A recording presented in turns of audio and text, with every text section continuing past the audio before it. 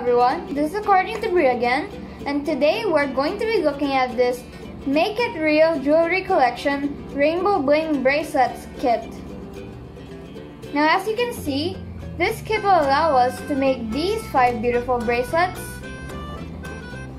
And on the back is everything we need from beads to waxed cords and heart charms. Now let's see what's inside. Alright, so here's the box. Now I'm going to open it up.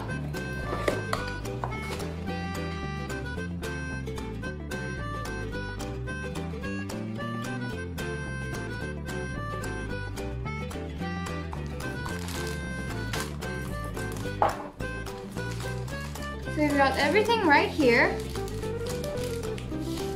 This is the instruction manual for all the bracelets.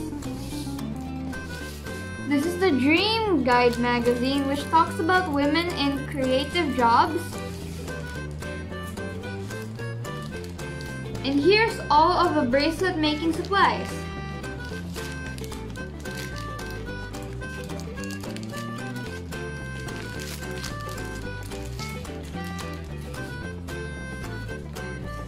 So we've got the light pink cord,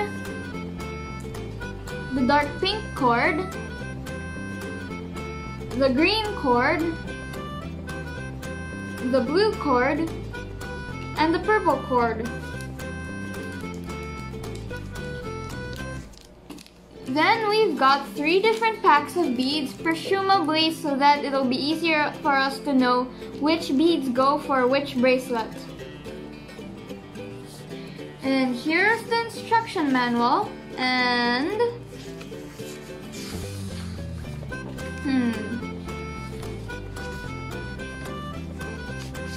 I think I'm going to start with the light pink bracelet.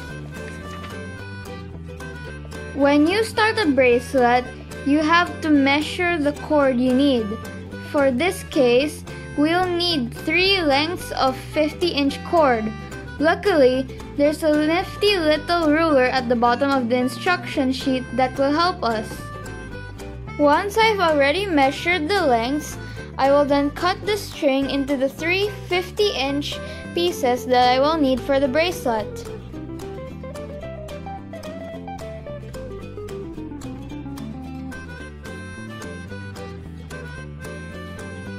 Now I'm going to open this sachet of beads because I'm going to need some of them for the center of the bracelet.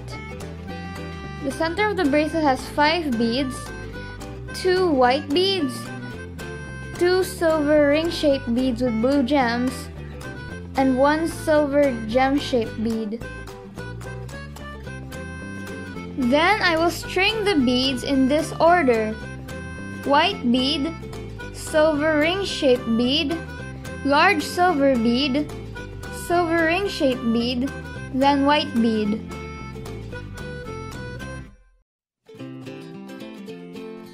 Here I'm centering the beads so that all the other parts of the bracelet can easily fall into place when I put them in. As you've probably noticed, I cut out three strings of the same color. Now I'm going to knot the second string to the first string next to the beads. Now I have to be careful when I make the knot because I want both ends of the knot to be approximately the same length as I will be braiding them later.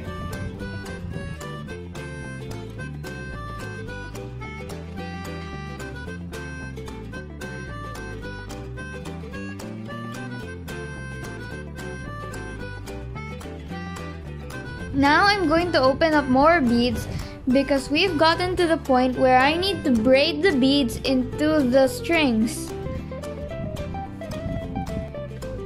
For me, braiding beads into string is like regular braiding except that before you lay each string over each other, you put a bead and then position it where you want so that it looks good on the finished product.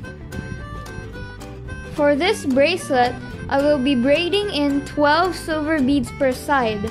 So that means I'm going to be using 24 silver beads in total.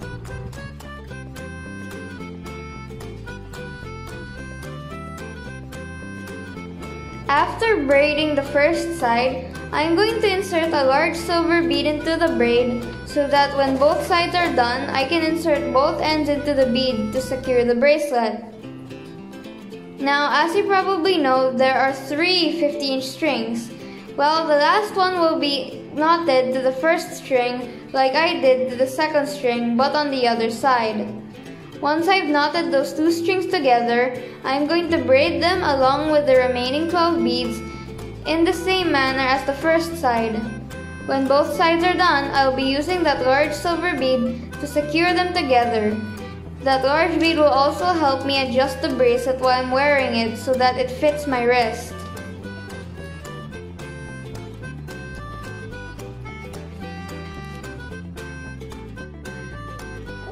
Now, after the other side has been braided, I can take the ends of the other side and put it through the same bead.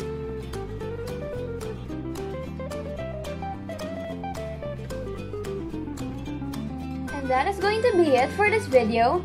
I was only able to make one bracelet, but I can safely say that this kit teaches new techniques that will be very useful and very beautiful when you make bracelets like these. Anyways, I hope you enjoyed this video. Don't forget to like, subscribe, and wear a mask. Bye!